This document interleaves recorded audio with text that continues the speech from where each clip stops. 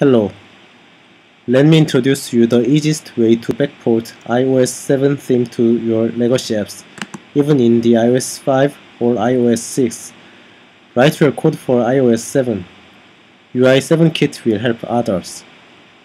Look this app. This is a plain iOS 5 app and iOS 5 simulator. Tab bar, navigation bar, table view, and common controls alert view action sheet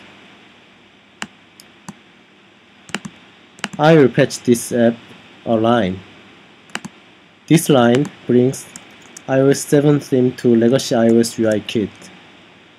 No other painful work. Just add a line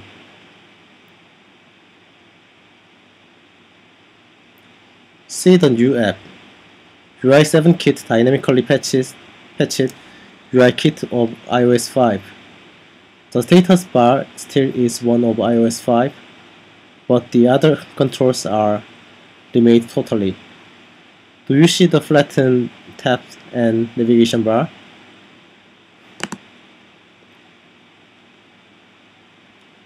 There is pretty switch of iOS 7 and alert view